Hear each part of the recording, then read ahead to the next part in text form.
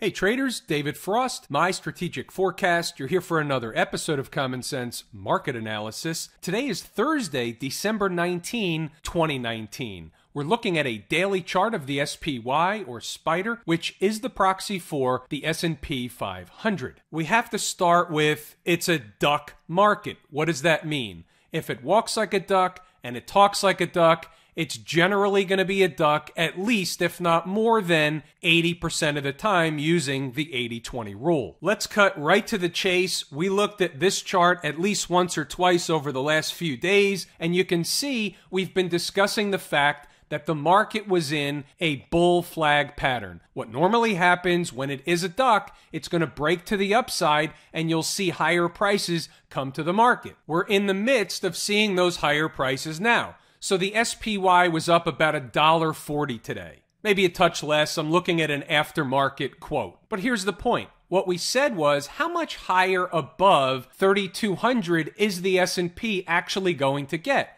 What did we say? 10, 15, 20 points, maybe 30. I don't see much more on the outside of that. If it is, then I'll be wrong. That's not what my work tells me. It is what it is until it's proven wrong. Right now, we're in the midst of within the scope of that number. There's obviously a whiff of seasonality that snuck its way into the tape. Not that the market's going higher, that's not really what I'm referring to. What I'm referring to is the fact that the market quiets down, which is really the recipe and one of the ingredients for higher prices quiet market, a lack of market participants out there, light volume. The path of least resistance is generally sideways, a la all week long in the bull flag pattern, and higher. So, generally speaking, 80 20 rule, we're going to see sideways to higher prices when the volume is light, when it's quiet out there. We have that arrangement right now. What are we seeing? All week long, we saw sideways,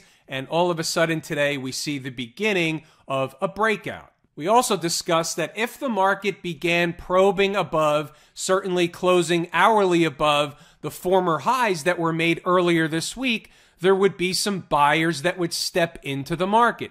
That did happen. That's how price is able to stay elevated above the former highs from earlier in the week. That wasn't rocket science. That's part of the duck conversation. If we switch over to an intraday 15 minute chart, for example, I want to bring up a different point. We're going to have to jump around a little bit. We'll throw the ball around the horn, but since the market is pretty much doing everything we said and was really expected to do under normal garden variety market conditions, there's not really a lot of layers of the onion that we need to peel back at present. It's a melt up. You let it go until she's done melting up. Is it finished tomorrow? Does it melt up through Christmas? Does it melt up through the new year? Those are all possibilities we don't know. We're going to sit back. We're going to let the market dictate what the analysis is. Right now, the analysis is bullish, uptrend, holidays. We have an awareness of the unexpected, but right now, the expected is more of the same. What's the floor right now? Well, the floor would be ES 3200 for argument's sake. Getting back below the big fat round number would be a psychological barrier that under normal garden variety market conditions wouldn't be easy for the bears to do under these conditions. Here's the point that I wanted to bring up with the 15 minute chart. Yesterday, right at the end of the day, into the close,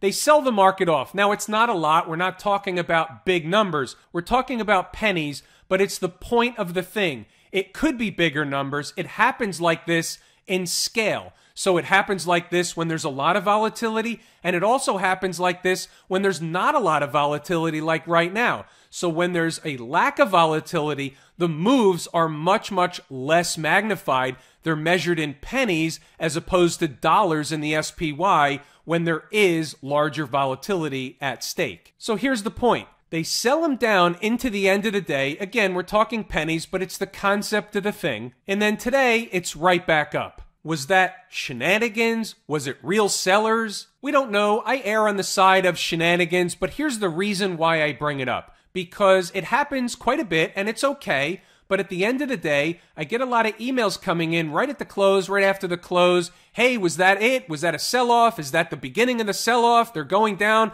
toward the morning opening range low for Monday, yada, yada, yada. And the awareness is it can always be the start of something. But until and unless they get below and close hourly below the numbers that we were talking about earlier in the day and all week long from inside the numbers, then there's nothing doing. All it is is another simple test of an important price zone or price area. They run tests all the time. But here's the real underlying thing. I haven't said this in a while, so I thought I would dust it off, bring it back out. The market's job is to make everybody, as many traders and investors as possible, look like fools as much of the time as possible. As such, the market has a tendency to make it look like it's doing the opposite thing right before it actually begins to do the thing that it's going to do. Now, what are you supposed to do with that information? On its surface, nothing. But when you go a little bit deeper, I'll explain. So now you're getting inside my head, so you got to put your galoshes on. The market is designed to be an emotional roller coaster. So we know that. So we have to take that into account. So as such, we have to have some contrarian thought processes in our mind at all times. Not that this is necessarily contrarian on its face, but at the end of the day, the last few minutes of the day, most of the time, I'm going to discount some abnormal behavior as compared to the rest of the day, unless it's a real outlier, unless it's a real reversal of sorts, unless something is really going on abnormal. But a little rundown for a few pennies, if you will, in comparison to the rest of the day, just a few pennies more. We're not going to make a federal case out of that. We're going to file it away in potential, possible, likely shenanigans. What's more evidence that we know that? Well, we go back to what happened the last several days. It's not always the case. You're not always going to find this, but here's a little rundown into the end of the day. Next day, right back up. We didn't go anywhere, but right back up. Little rundown into the end of the day. Next day, right back up. Didn't go anywhere. Little rundown into the end of the day. Next day, which is today, run up, right back up. It's like a storyboard. They're building a theme. Now, let's stay on this topic because we've got something else in the shenanigans department. We just got finished discussing a quiet market, light volume. Now, I'm sitting here all day long watching the market, minus a little bit of time here and there where I'm running around. I know nothing's going on. Stocks that are moving are moving at turtle speed. The S&P is moving at turtle speed.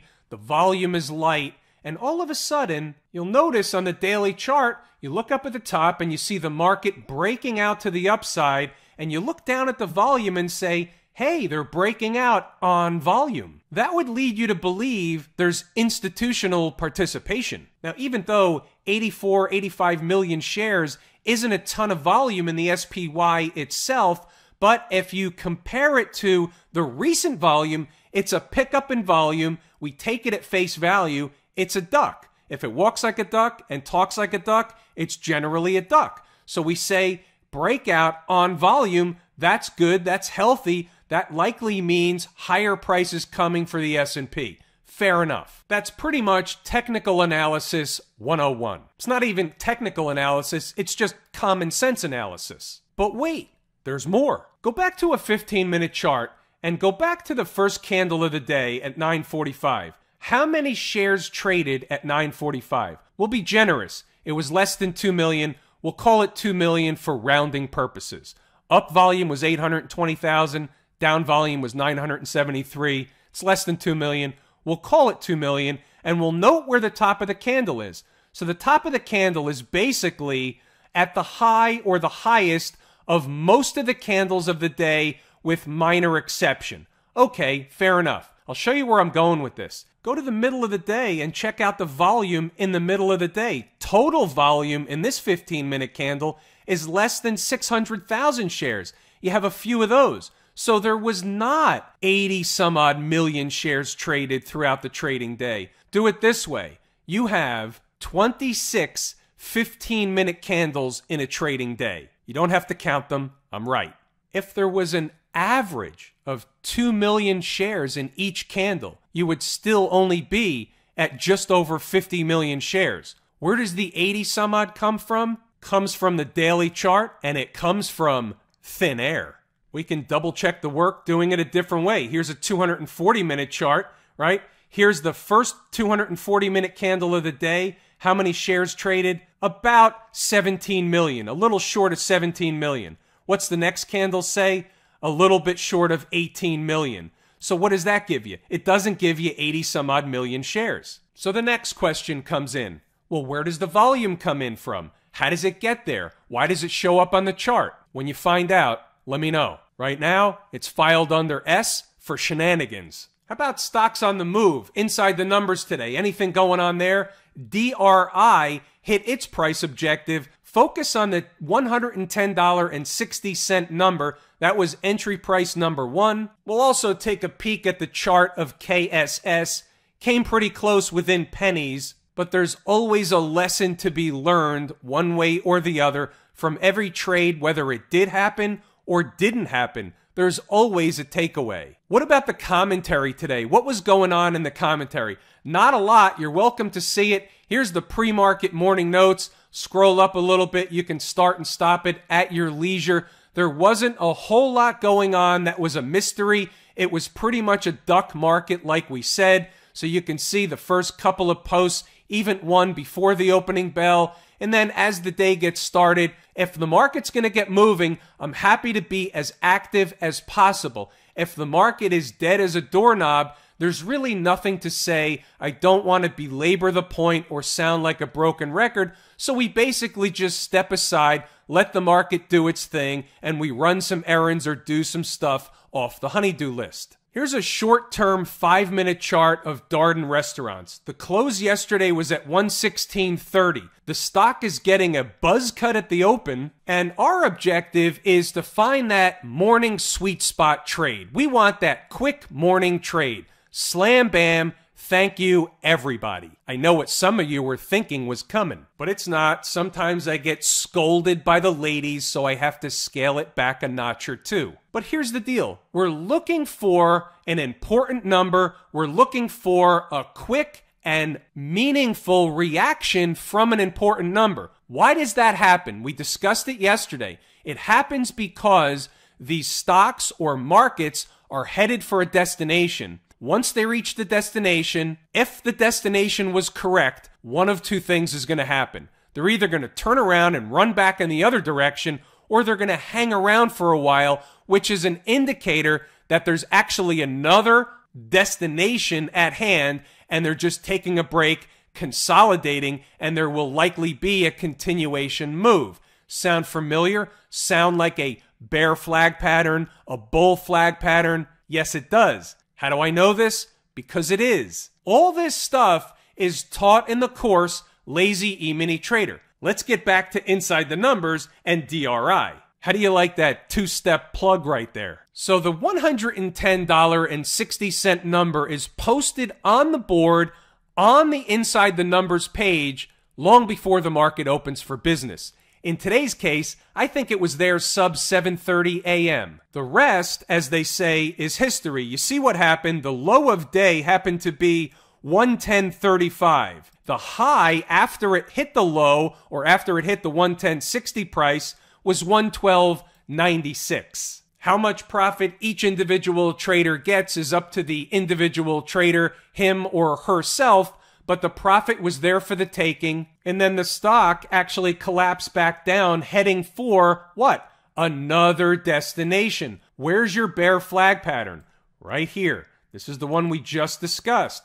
Bear flag, bear wedge, bear whatever. And here it is. We do this all the time. This is an intraday chart doing the same thing we look at on daily charts, weekly charts, any chart, hourly charts. All charts act and react the same way. So therefore, everything that's taught in the course, Lazy E-mini Trader can be applied for day traders, for scalp traders, for swing traders, for long-term investors. It doesn't matter. It's a philosophy and it's an understanding of how the market works and how to look at the charts and how to identify the opportunity and also do what?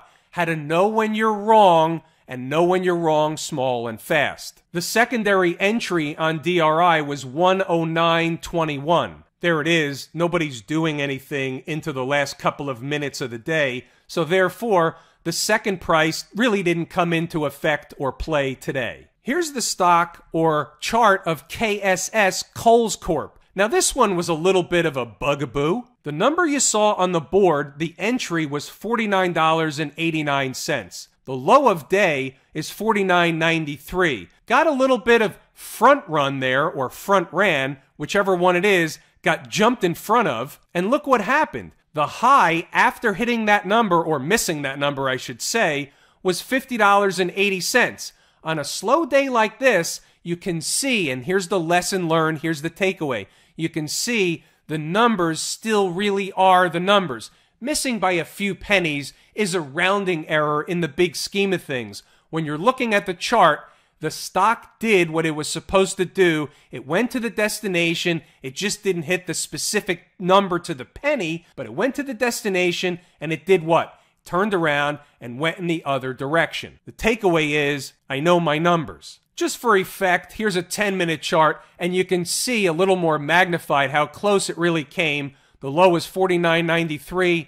I was sitting at 49.89. Some of you were sitting at 49.93. Ha ha ha. Anything going on over in Camp IWM? No, the melt up continues. The band is playing on. I think the other day we talked about a possible target for the IWM about 166 and a half. Maybe it goes a little bit higher. Maybe it doesn't get there at all. But if the other markets are going up, it's likely the IWM is going up as well. We don't have any relative strength. We don't have any relative weakness. We just have a market that's on par with everything else. We take it for what it's worth. We take it at face value. It's another duck. Here's a 60 minute chart of the VIX. Threw a little short hop out there, but we do want to move the ball around the horn. Looking at an hourly chart of the VIX, and you understand and just saw where the SPY is, so we know the S&P is at highs. Why isn't the VIX at some new lows?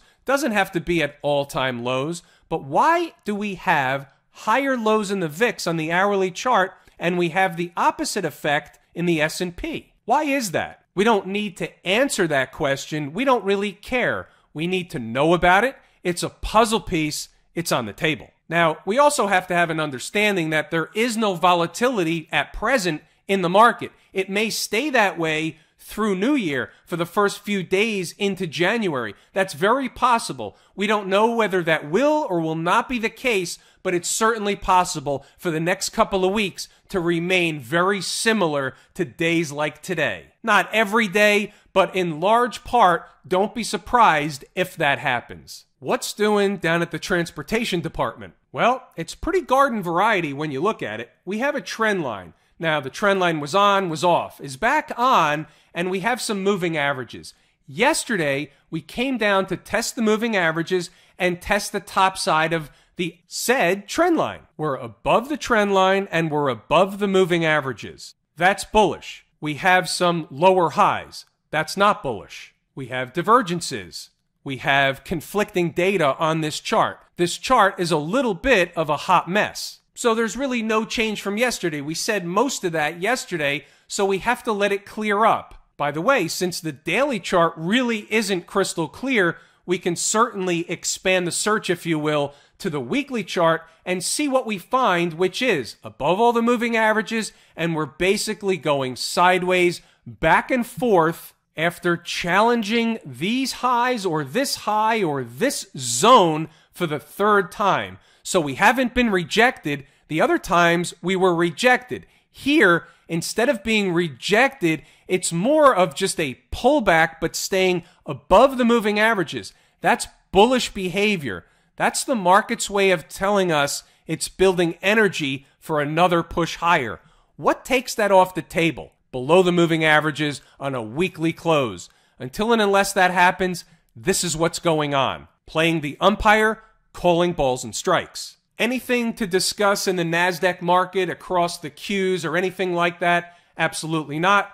The band plays on, the melt up continues. No different in the Qs. Move it along. How about the XLF? What's going on in the financials? How come they didn't make new highs today? How come they came down yesterday and were stuck in the mud today? Because they're at a very, very critical area that becomes more critical at the end of December. $30.98 is your bogey. Closing above that number at the end of December will be bullish for the financials. What we're seeing right now is a run up to that number, and it really is showtime whether or not we see the financials or the XLF in this case bust through that number and close positive or above that number, $30.98 for the month of December, or to close out the year. That's certainly possible. But what we're seeing right now is essentially just a stall out at that number. No rejection yet. If we do get rejected or the XLF gets rejected at that number, it's one thing. But if we just get somewhat of a light touch, pull back, go sideways for a while, what's that telling us? That's telling us, if that were to happen, that's telling us that the XLF is winding up to go higher. Even though we talked about the fact it could be quiet leading into the actual month of January, it also doesn't have to be that way. Stuff could happen. We have to have an awareness on both sides. We always want to respect both sides of the tape. Anything doing in the SMH good old smash mouth today? Absolutely not. Same routine. They're just grinding higher along with everything else. Whether one market is up more or less than another on any particular day doesn't really matter unless there's a real divergence with one of my favorite two leading indicators, the IWM and or the transports. We certainly consider good old Smashmouth in there, but it comes in in third place. I like to go with my first two horses. Right now, the horses really aren't telling us anything different than we're seeing in the market. That makes it a duck market. With that, that's a pretty good place to pull the ripcord. Before I do, thank you. I appreciate you very much. Each and every one of you very much. Without you, these videos are not possible. So for that, I am thankful. I am David Frost, my strategic forecast Thanks for tuning in for another episode of Common Sense Market Analysis.